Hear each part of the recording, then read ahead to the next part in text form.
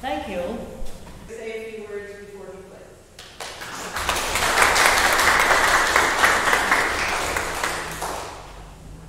Thank you. Reverend Deb has made a grave mistake. She has invited me to speak.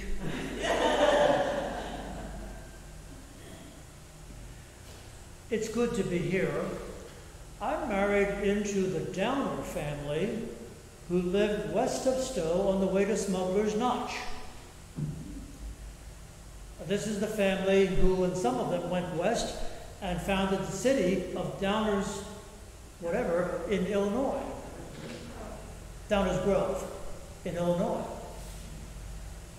So, as I was courting my later wife, the family invited me to come along to Vermont. Seems as though my late wife's grandfather, John Downer, was a student in that very early academic field of study at UVM called electrical engineering. And he got a job with General Electric in Schenectady, New York. His brother Harry stayed on the farm, and they bought adjoining properties on Lake Hortonia, Little Lake, in the town of Hubbardton. These have been hand me down properties ever since, and I've been coming to Vermont ever since our marriage in 1961. And there's this strange phenomenon. We, we, we Pennsylvanians keep coming to Vermont and leaving hard earned Pennsylvania dollars in Vermont every summer. I won't stand here and do this, I, but I could for an hour talking with you about my late departed friend John Weaver. I first met John either summer of 1957 or 1958. He was a student, an organ major at Curtis Institute in Philadelphia, and I was a student in music education at a small liberal arts college in the Lebanon Valley of Pennsylvania, Lebanon Valley College. Uh, but we have maintained a contact for all these years, and as I have said to a number of people, I've never been in this church until yesterday to come to practice, but John is very present to me in my, my recollection, uh, and I honor his memory greatly. The organ is a quite worthy instrument. It, it is suffering a couple of birthing pains right now, and we, we have figured out how to avoid those problems for the time being. But this is a very worthy instrument, and I hope that you folks, maybe with some frequency, can have people in to play concerts on this organ. Now, uh, it, it is worthy of this kind of thing, and I must assume that there are not many such organs around this territory of Vermont uh, that can do this. So it, it's a great pleasure to be here in, in all kinds of ways. People have asked me to play and this discussion has finally yielded my plan to play two items, the first of which is to demonstrate to you the extent to which the organ is a worthy instrument. One of the late mature works of Johann Sebastian Bach, a prelude and fugue, what the Brits call the great prelude and fugue in B minor. Now, those of you who know the Brandenburg Concerti of Bach are accustomed to hearing Bach's system with the orchestra of having the whole orchestra play now and then a small group of players to play then, and back and forth it goes. We music history professors refer to this as the concerto grosso principle of the large group and the small group. And this organ demonstrates this absolutely well. So what we'll hear is the large group of the orchestra played in the bottom manual, the so-called great manual, and the solo instrument group transferred to the organ on the upper manual, the so-called swell manual, which is a kind of a thinner sound and very much on purpose. This is remarkable music. This is Bach in, in really a rather spiritual moment with music. Uh, there is nothing flip about this. It is great music, and let me sit, stop talking, sit down and play for you. One more thing. I'm indebted to this handsome young man over here who's going to turn pages for me. Young.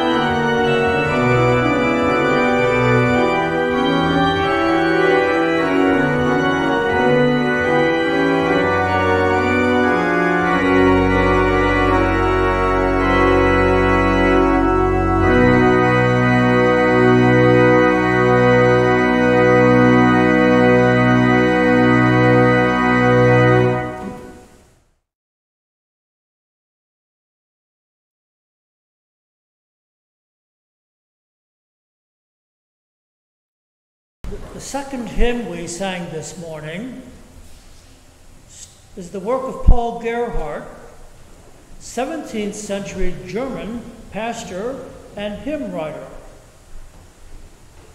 Most of us probably do not speak much German.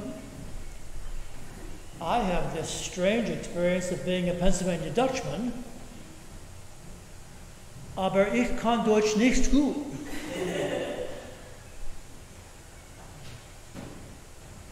What we sang this morning, however, is a translation of Paul Gerhardt's text done by John Wesley, who was very skilled in German and is probably one of the five important translators ever of German chorales into English language. When you, now, most of you have probably studied a, a foreign language of some sort or another, and you know the process of taking the words from this language and putting them into that language and rearranging the word order according to that language, and that's what you do. When you translate hymnody, there is another whole bag of concerns. You're going to sing this hymnody, and therefore you have a given number of poetic feet in each verse line of the hymn text and of the music. So when you translate, you have to translate into something where the poetic feet match what the original text writer did. Furthermore, poetry, as you know, deals sometimes with manner of expression which is something more than just logical thinking. So, you, so there's a, kind of a picture of words sometimes, and you look for the same sort of picture in the language to which you are translating.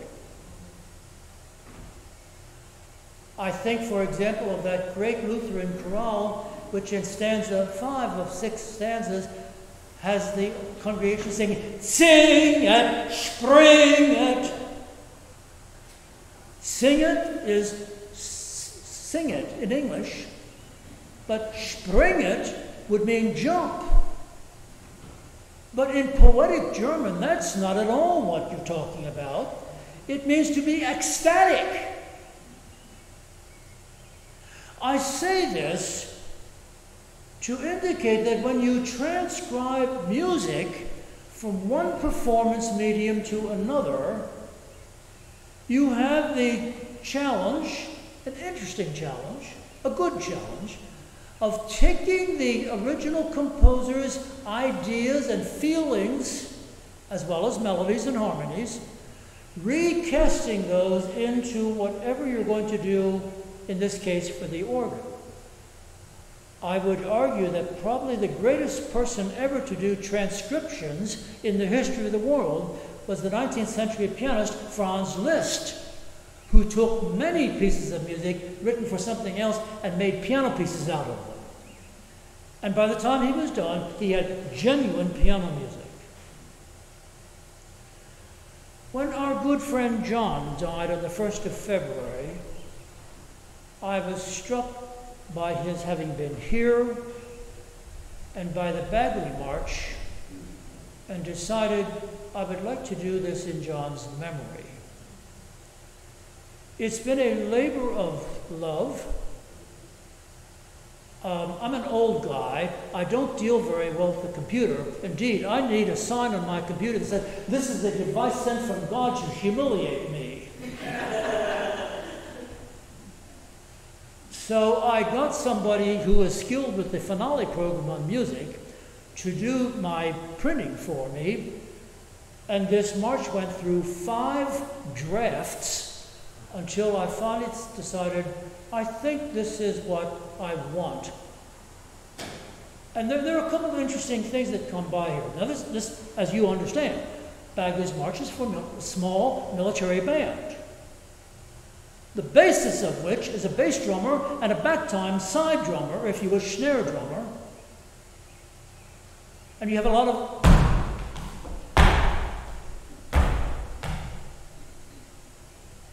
And the only way that I can understand to convert that to the organ is to write what we call in organ music double pedals. Rather than having a single line of activity going on, two lines, one for the left foot, one for the right foot, and the left foot stomping on the keys and the right foot tapping off gently on the key to create the effect of the bass drum and the side drum. Finally, you can't get this. Those of you who know this march well, and I assume that some of you do, you should.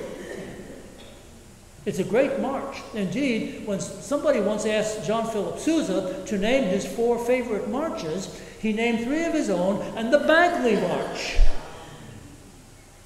This is high praise for this guy who grew up in Craftsbury. But you can't do it all on the organ short of having a second organist playing along with you. So that in, in a couple cases, you are likely to miss, for example, a certain piccolo part.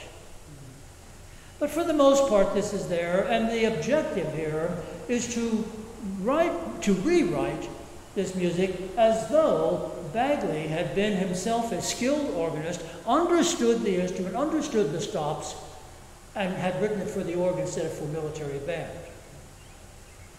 When you do this, there is always something wrong. Because it is not what Bagley really had in mind. Having said that, this is in my good friend John's memory. And as I have said so many times there, and it, it's been striking, John is terribly conspicuous to me in his absence. I, we, I will miss him till my own dying day. Let's see what we can do to make this organ sound like a Bagley march.